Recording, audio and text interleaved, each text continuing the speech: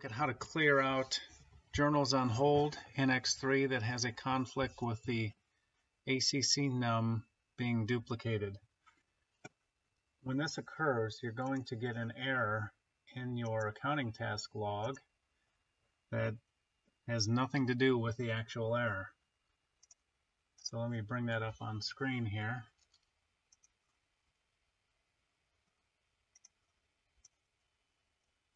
So in this case, this is I've look I've gone to the log of the uh, journal here, and you see this is one of those errors: transaction stopped error and transaction creation WIP CS WIP number table GACC entry DDAE.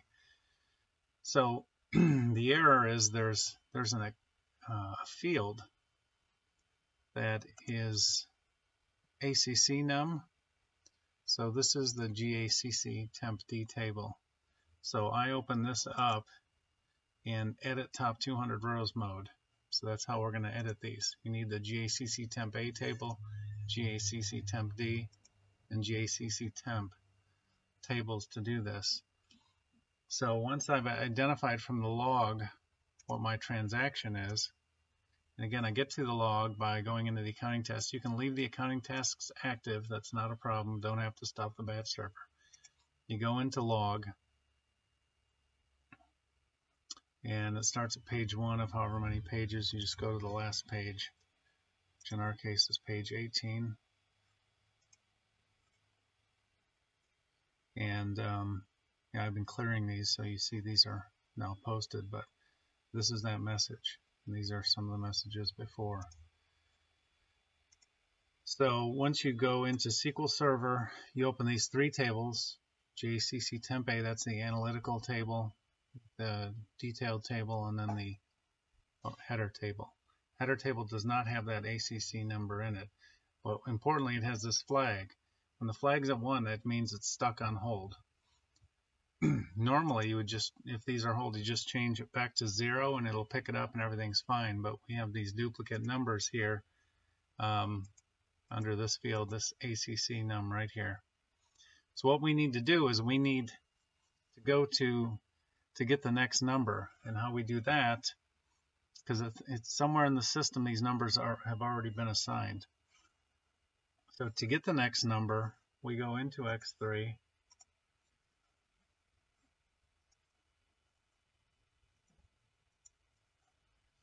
right, and I go into financials journal entry and you put in, you open the calculator and you put in this um, unique ID DAA, DAE, that's the table number.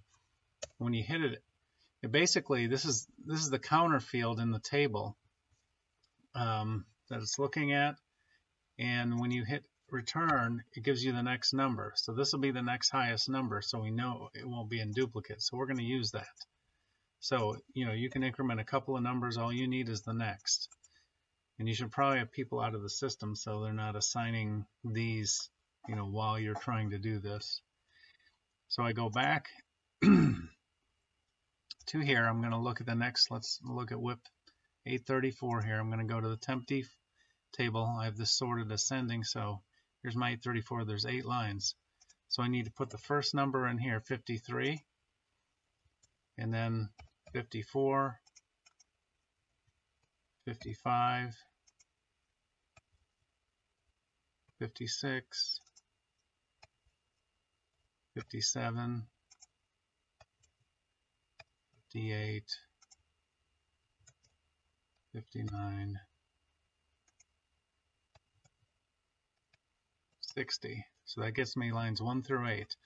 Now I go to the analytical table and I see what's there for 34. So 34 is using line 7. Okay, so there's two entries in line 7. So I got to match this ACC number to line 7 there. So I grab whatever's there, 659, copy, and I have to paste for both of these. Okay, now I'm almost ready to change this flag back to 0. Before I do so, I have to go back and make sure in X3 that I've incremented this all the way up to what I just assigned.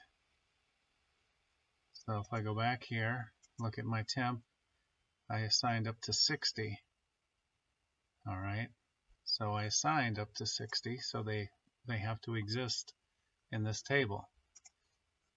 So now you see journals on hold. Let me update this. There's three. I go into SQL. My next step is to change this 1 to a 0 and hit return. And now it'll be picked up every 30 seconds. The batch server picks these up. I'll just keep going here until that clears. Now it's gone. I go to my D table now. Here were the records. They're gone. My next is 35. No, these are gone. So I have two more left, 35 and 36. Now I don't have to do these one by one. That was just an example. Um, I can do them, you know, all together as long as I assign the numbers. So that's how you clear these entries.